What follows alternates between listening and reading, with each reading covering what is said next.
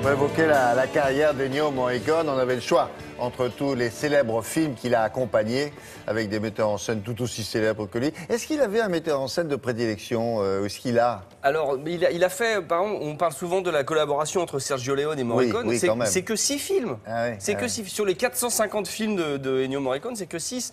Giuseppe Tornatore, Cinéma Paradiso, entre autres, et tout, c'est 11 ou 12 films. voilà, il a, il, a, il a collaboré au, au maximum avec, euh, euh, sur 13 films avec euh, des, des collaborateurs, euh, avec des réalisateurs italiens. Ouais. Il n'a pas vraiment son réalisateur qui suit. En même temps, sur 450, il a eu le temps d'en essayer un peu. Il a fait De Palma, Verneuil. Non, mais ça. celui qui a le plus grand nombre de collaborations avec un même euh, musicien, c'est Claude Lelouch Oui, c'est vrai. et Francis Lay. C'est vrai. c'est vrai. 33. 33 Ouais. Pas mal. Pas mal. Ils vont aller chez le docteur Comment ça se passe Fallait que je la fasse, hein, fallait que je la fasse, celle-là. voilà, c'était Bon, alors nous, le problème était le suivant, c'est qu'Alex Jaffray, depuis environ 27 ans, me demande je voudrais aller voir le maître. Alors, j'ai dit, ben oui, on va demander gentiment, parce que le maître est parfois un peu, Oui. un peu ferme. hein. Il est, oui, il n'est pas commode, commode. C'est vrai que quand on dit, voilà, il y a deux bonnes nouvelles. Quand on vous dit, oh, on- on- vous, pouvez aller euh, interviewer Ennio Morricone, vous dites, waouh, et après vous dites, euh, vous savez qu'il n'est pas toujours, euh, voilà, c'est un peu, ah, Oui, mais ce qui est formidable, c'est qu'il vous a pas reçu dans un petit bureau de Cinecittà, il vous reçoit chez lui. Exactement, dans son salon, dans son canapé. Et le truc de dingue, et je peux vous dire que là, on est très très peu à l'avoir vu. À la fin de l'interview, ça s'est plutôt très bien passé. Eh bien, vous allez voir, il nous emmène dans sa pièce de travail, la pièce dans laquelle il a écrit depuis 30 ou 35 ans toutes ses musiques de films. Parce qu'il n'écrit pas au piano, il écrit est-ce que- est-ce que vous avez eu la décence de vous évanouir? Mais je pense que je, me- je suis sorti de mon corps, revenu dans mon corps, ressorti. Enfin, non, mais c'était énorme. C'était dingue. Il y avait les partitions des, des films Non. sur lesquels il travaille sur son canapé. Comme ça, il, le- il travaille sur le prochain Tornatore, par exemple. Il y avait les partitions qui étaient là.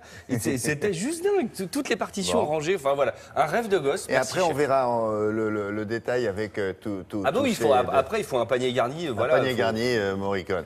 Bon, allez, on y Alors, va? Direction Rome. Ah oui, Rome. Le bel appartement de Il Maestro.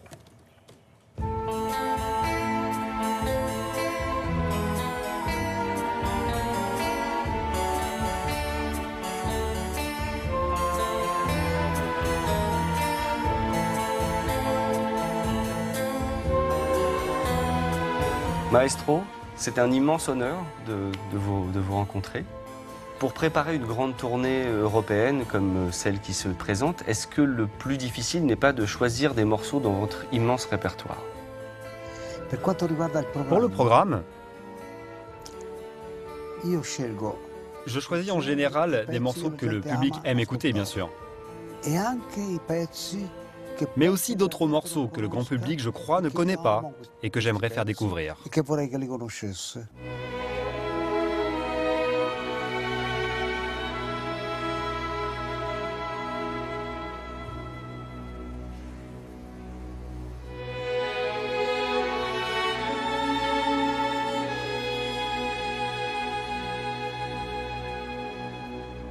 On a l'impression, dans vos 450, 500 œuvres, euh, qu'il y a euh, moins de comédie. Est-ce que c'est parce que euh, ça vous intéresse moins ou est-ce que c'est parce qu'on vous propose moins de comédie Non me l'hanno proposto.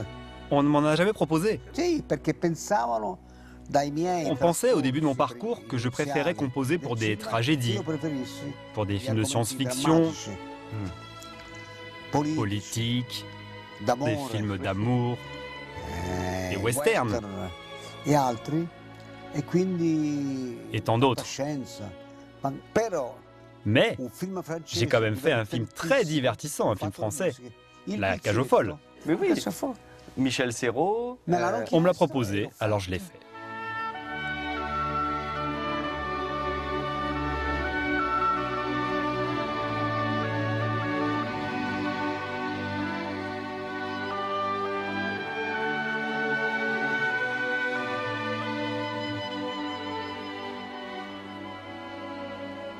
Est-ce que vous avez un rituel de composition? Est-ce que vous travaillez à une heure précise? Est-ce que vous devez être dans une pièce? Est-ce que vous avez un papier particulier pour écrire? Le matin. essere Une fois que j'ai fait un peu de ménage histoire de me mettre en forme, j'écris toujours aux mêmes horaires. Comme ça, ça me laisse l'après-midi de libre. Sinon, comme la plupart des compositeurs. J'écris sur une partition. Je n'utilise jamais le piano, toujours sur papier. Je crois qu'il faut toujours développer une idée sur papier d'abord.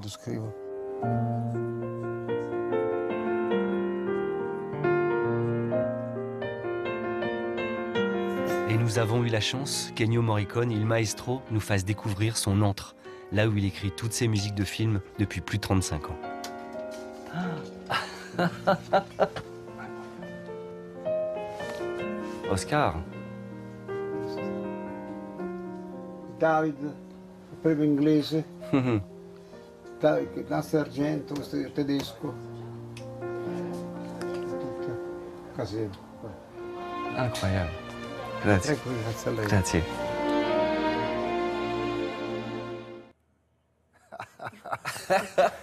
Vous, vous dingue. Est-ce est-ce que vous pouvez m'enfermer là? Je voudrais rester deux, trois jours. Juste là. Quel âge a-t-il, Ennio Morricone 86, 86. Et il compose évidemment tous les jours. Mais, mais comme un dingue, voilà, c'est c'est un rituel. C'est-à-dire, Il raconte comme il a un très grand appartement, il, il fait pas du sport en sortant, il marche dans son appartement. Donc euh, voilà, il doit faire 300 mètres en marchant comme ça.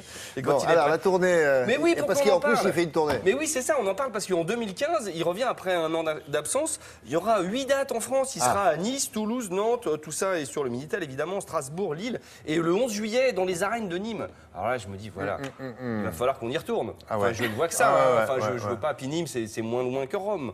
C'est moins loin. C'est moins loin. C'est bien. Si plus vous serez en plein air. C'est vrai en plus. S'il pleut, non mais en juillet il pleut pas. Et ça c'est Alors ça, ça c'est le Yo Morricone, c'est le, c'est le, le coffret avec 4 CD. Je pense que voilà, c'est un peu le meilleur d'eux, avec Mhm. euh, le chef euh, qui dirige.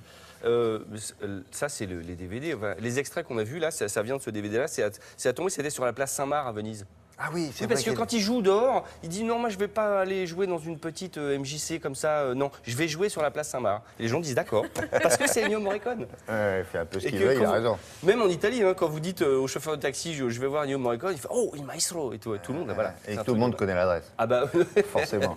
Merci beaucoup. merci chef.